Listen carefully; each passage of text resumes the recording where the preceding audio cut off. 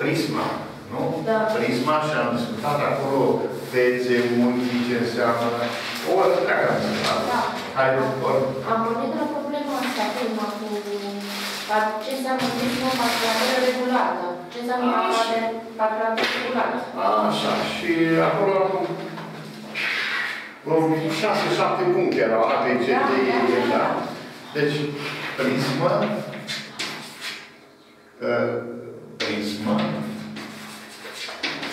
calculatoră, regulată.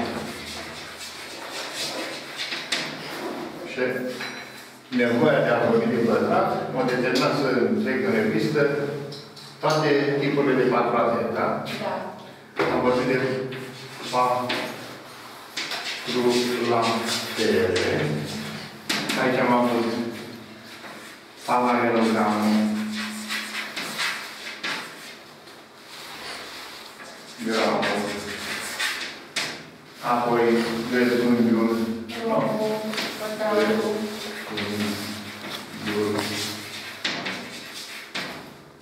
Drumul,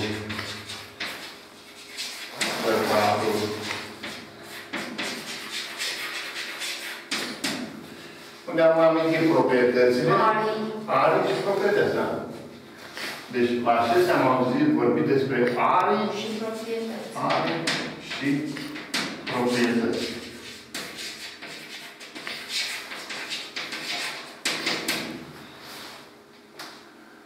Um, am uh, vorbit și despre area triunghiului exprimată în uh, mai multe variante, Heron și așa mai departe.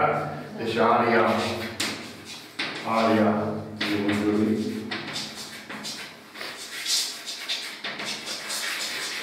area triunghiului în variante. Baza înălțimea asupra 2, baza înălțimea asupra 2, apoi în varianta produsul a două laturi sinsunghiului între ele, da, produsul a două laturi, semiprodusul, ori înmulțit cu sinusul dintre sinusul unghiului, sinusul... Evident, desenam o figură aici Da. mai, mai pe scurt, cele trei forme. Da. Area gândului în trei variante, da? Gândului în trei variante. Apoi am vorbit despre hexagon, nu? Uh, Reprezentarea în spațiu. Da. Da. Re, reprezentarea în spațiu. Uh, pentru triunghi Dreptul, pătratul, pătratul. pătrat, Hexagon. Da, exact, vor, și așa mai, poligoane regulate în general. Da. Uh, în spațiu pentru a permite prisma. Da. Da? Deci asta, reprezentarea uh, în spațiu pentru triunghi, pentru a avea prismă triunghiulară, pătrată, adică Hexagonală. hexagonală.